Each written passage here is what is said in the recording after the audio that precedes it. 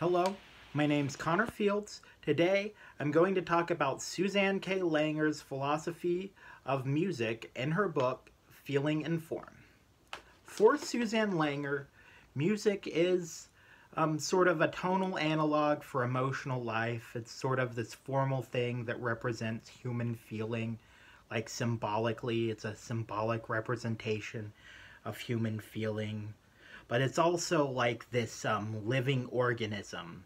Like the it's like she borrows this idea from Flaubert. She even admits as much. Flaubert, um, it's this living organism.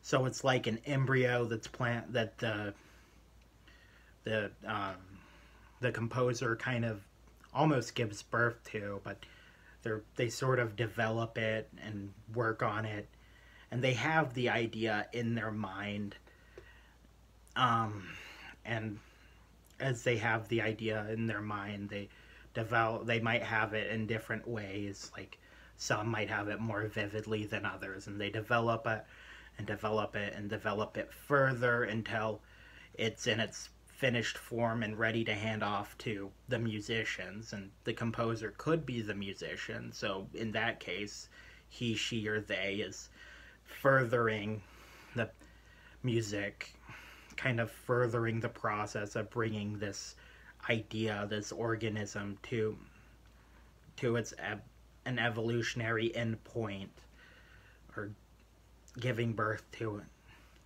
But if you're a musician who didn't um, compose the work, you are um, sort of serving the, the commanding form. You're helping the organism get to where it needs to go. And the listener she also has an idea of the listener.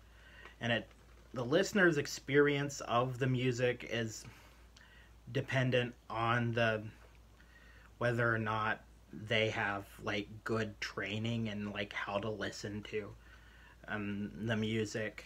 And her view of music is really her philosophy of music is mostly a philosophy of classical music possibly it could be pop adopted or adapted to popular music. She does talk about folk tunes, but they're like folk tunes, not as like how we'd think of them today, like Bob Dylan or something. No, they're like like a classical musician performing a folk tune. Um, anyway, she ha- also has this idea about like the virtual nature of time and how music sort of affects a virtual experience of time. She'll even talk about virtual time, and she talks about it as like a subjective thing.